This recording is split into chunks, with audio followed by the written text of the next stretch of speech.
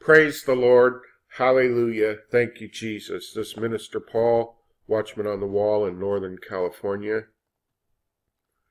It's Saturday, May 18th, 2019. I have my wife Gail here, and she had a dream last night, and I'd like her to explain it because I believe it's related to the vision I had this morning. So on this in the same morning, it was a dream from her and a vision from me. Good morning, good morning, everybody.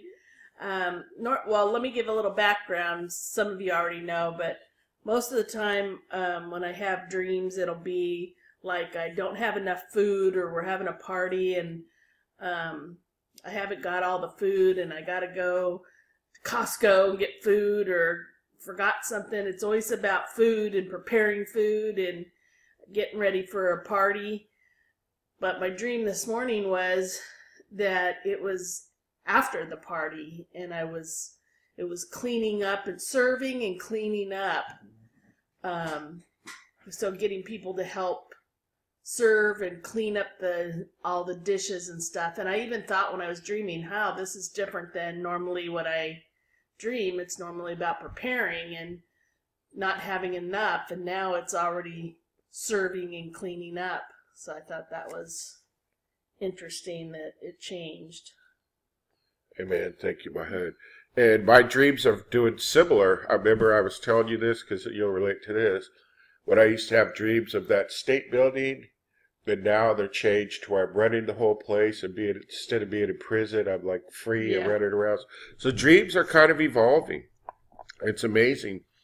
And so the interpretation I got, please take this to the Lord and pray over this. The interpretation I got of all her dreams and being preparing was preparing for the wedding feast.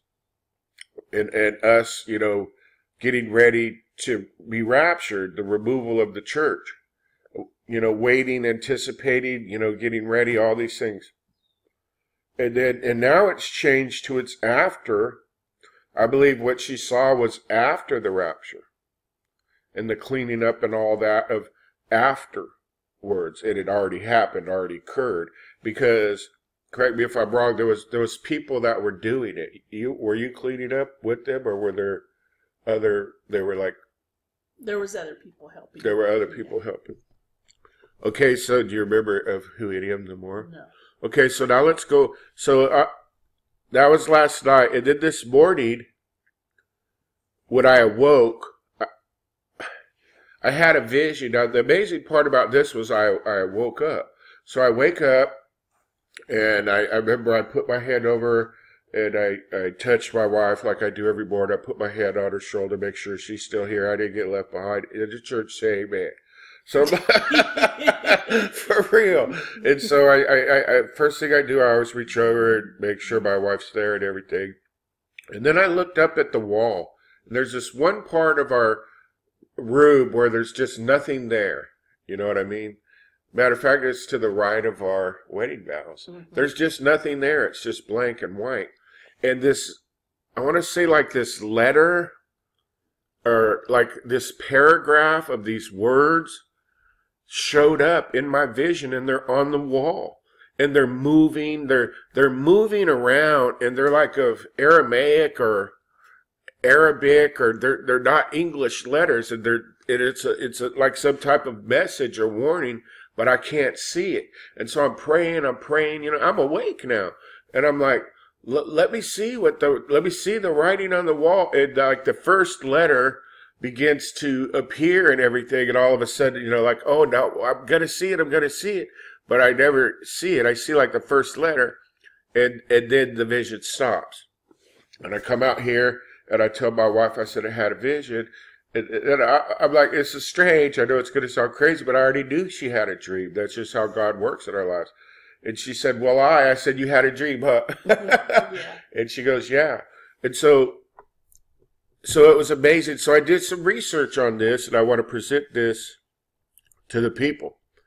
So in my dream, I looked it up.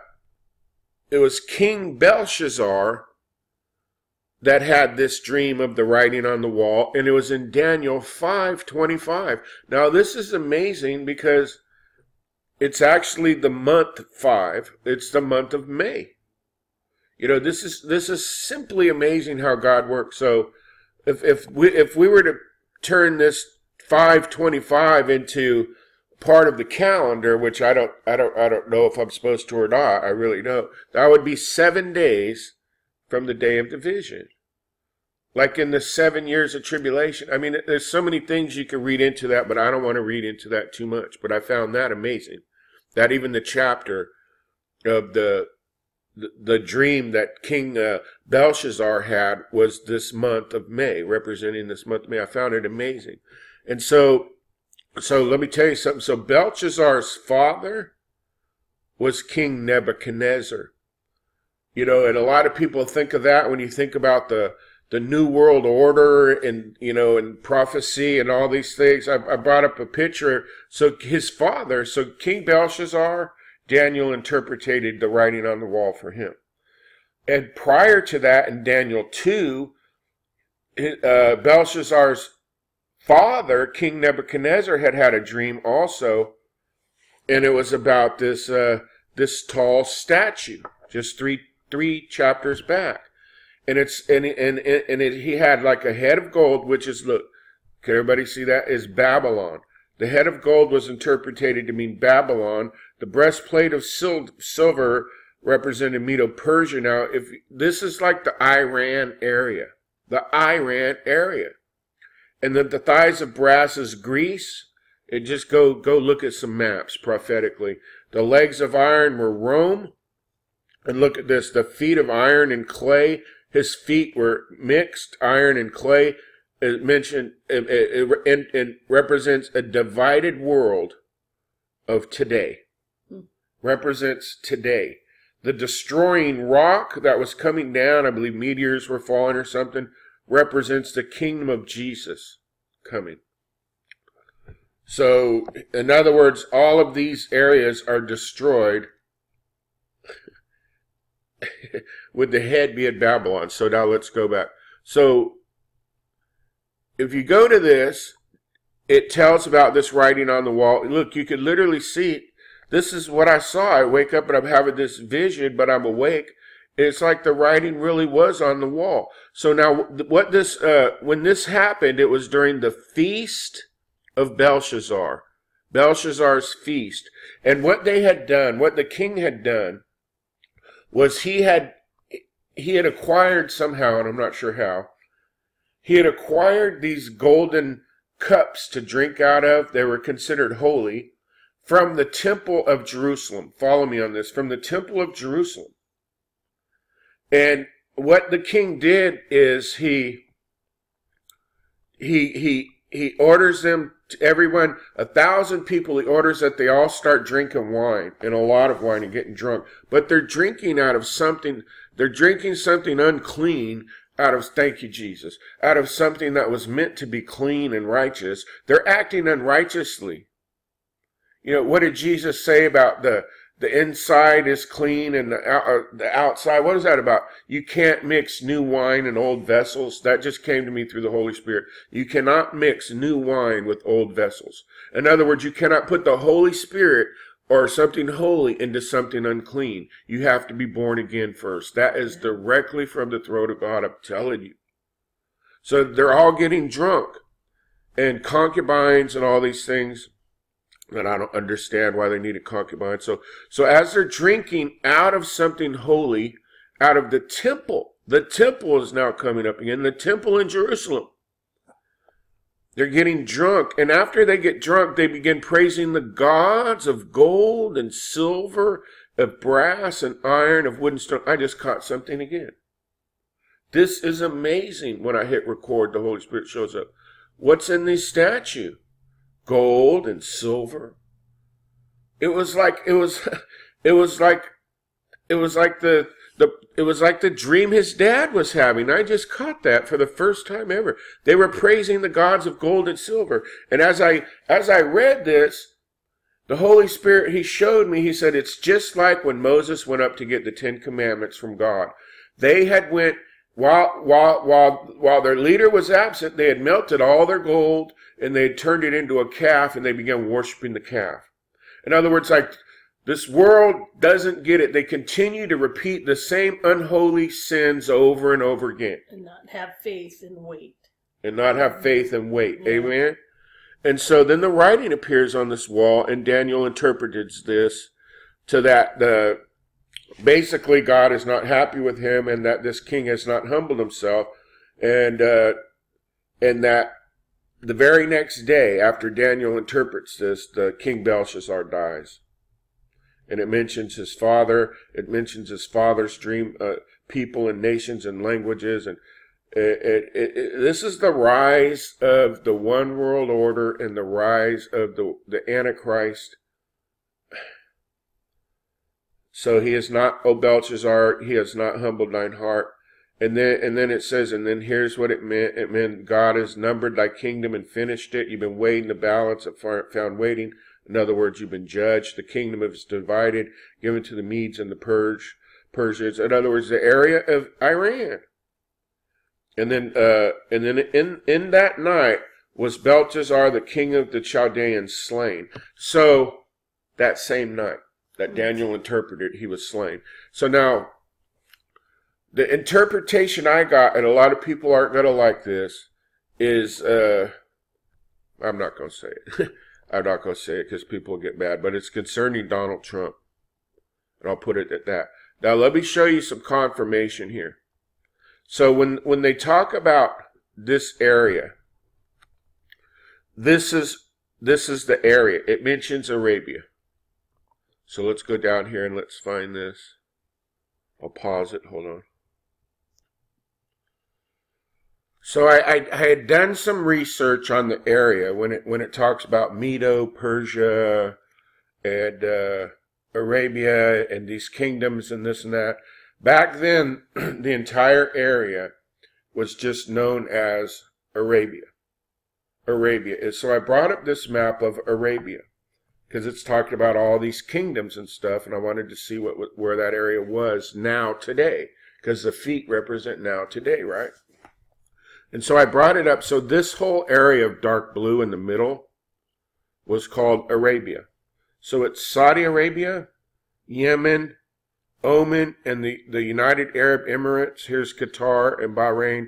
And it, this, this Persian Gulf uh, is what separates Arabia from Iran. Can everybody see that? And right here is the Strait of Hormuz. Does this map not look familiar?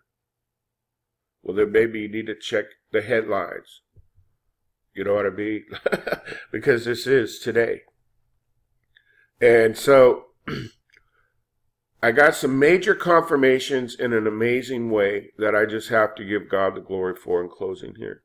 So in this video, dated May 16th, 2019, so two days ago, I'm showing this map.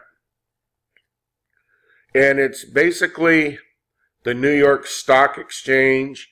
And remember, we were talking about the ferries that go out. I've shown this map for years and years and years. And I came upon this restaurant called Balthazar.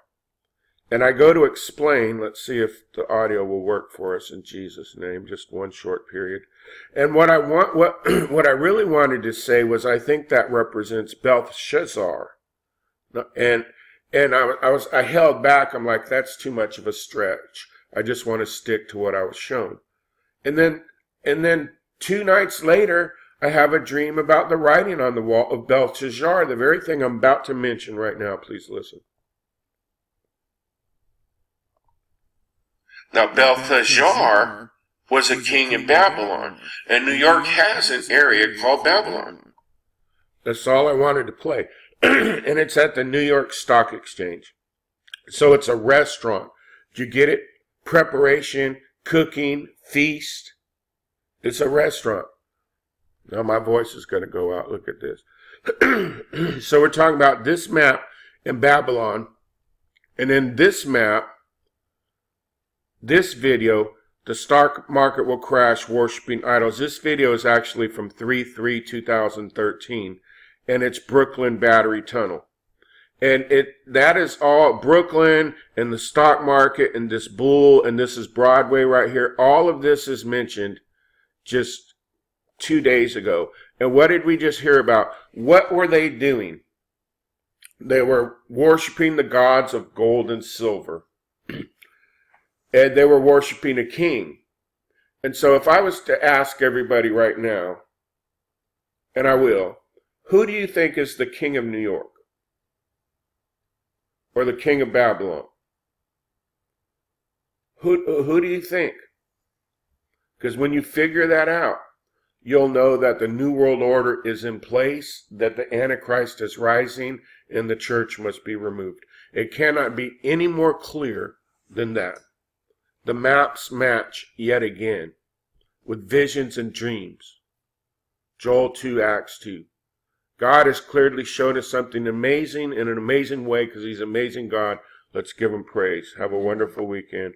Jesus is coming. Amen.